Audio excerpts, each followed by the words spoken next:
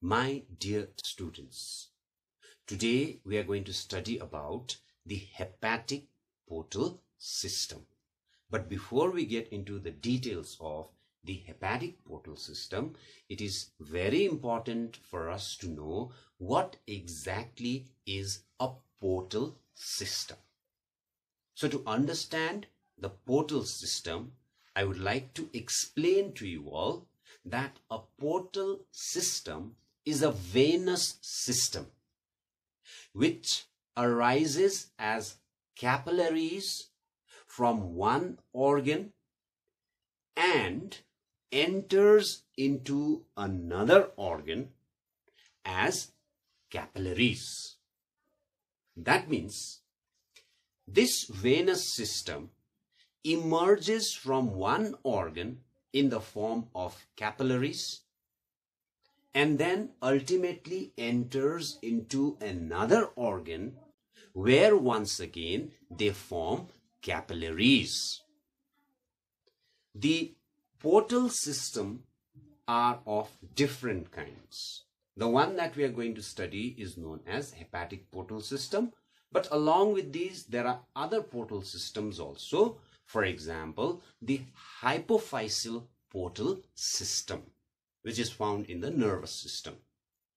There is another kind of portal system, which is called the renal portal system, which is found in the lower vertebrates like fishes and amphibians. But this renal portal system is not found in case of the human beings.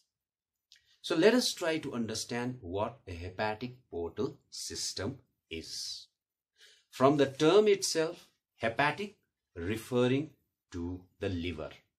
So what is there in the hepatic portal system? That is what we are going to understand today. Hepatic portal system, as I told you, that since it's a portal system, it is a venous system that takes away blood from the digestive system and the spleen to the liver before the blood is taken to the heart. We all know ultimately the blood is collected in the vena cava and this vena cava ultimately takes away blood from the different organs into the heart. But before the blood from the digestive system is poured into the vena cava, it moves into the liver. The blood moves into the liver through the hepatic portal system.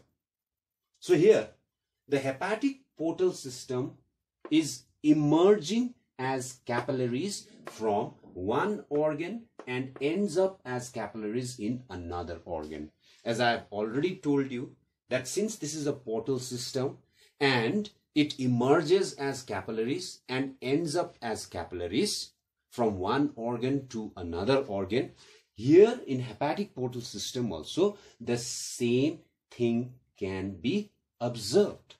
So in the hepatic portal system, the venous system is emerging as capillaries from where?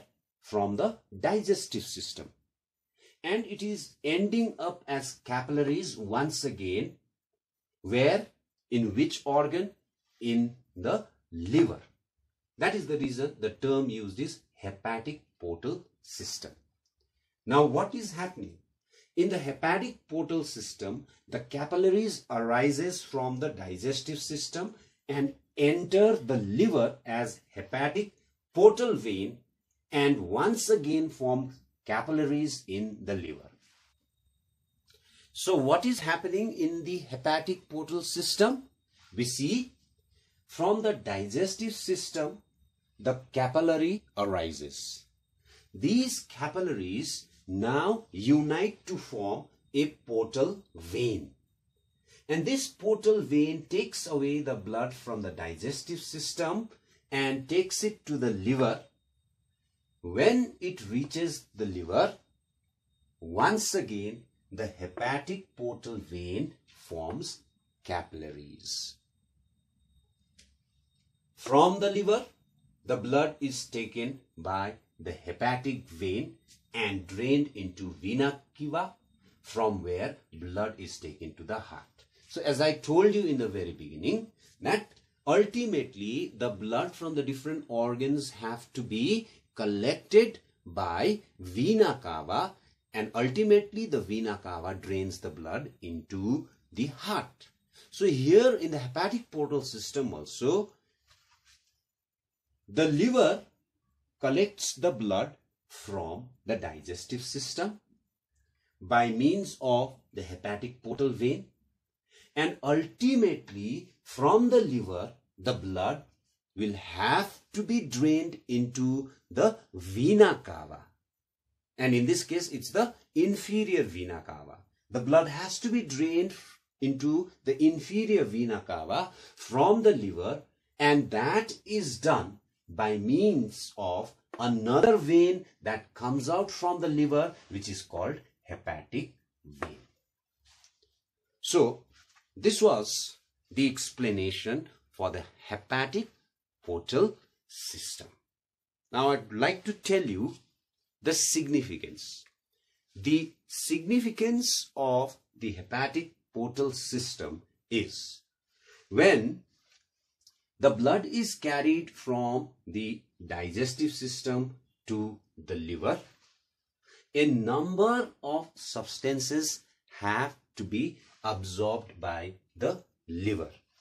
For example, glucose will be absorbed by the liver and will be stored in the form of glycogen.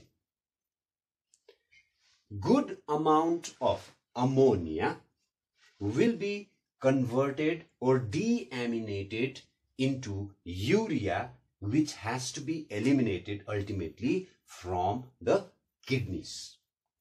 So here when the blood is moving from the digestive system to the liver and ultimately reaches the liver, the liver will do the selection of the materials that has to enter into the normal circulation that is the vena cava and certain amount of substances needs to be detoxified. Certain number of substance have to be converted and have to be stored in the liver. So that is the reason this hepatic portal system is very important. So diagrammatically if we want to understand the hepatic portal system it shows out here that the hepatic portal system emerges as capillaries as you can see out here from the intestine. This resembles the digestive system and it moves into the liver as hepatic portal vein. So these capillaries okay will form a hepatic portal vein and this hepatic portal vein ultimately enters into the liver and where once again it breaks up into capillaries. These are also capillaries in the liver. Now these capillaries once again reunite to form the hepatic vein.